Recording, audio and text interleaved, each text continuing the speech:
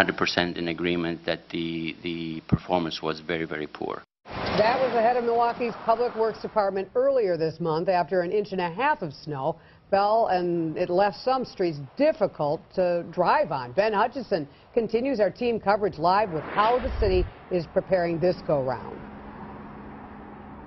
Well, they say they will definitely be ready this time and that every storm is a learning experience. It's also a good reminder for all of us to check our cars and make sure there's a couple things in there that could come in handy, like a blanket, also a shovel. It could be full-size or portable.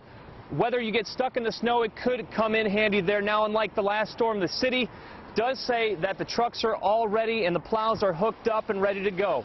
Right now they have about 40,000 tons of salt available. They started with 55,000 tons at the beginning of the year. Workers are on standby in case extra help is needed.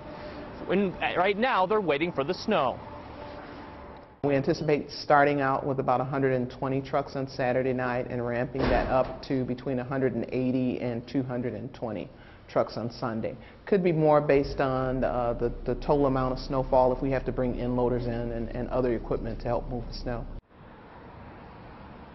And right now the roads are quiet out here near Miller Park tonight. Coming up after 1030, police will be looking out for people this weekend because of the weather. Also the Super Bowl. A lot of parties going on at 1030. We'll tell you what they're looking for. In Milwaukee, Ben Hutchison, WISN 12 News.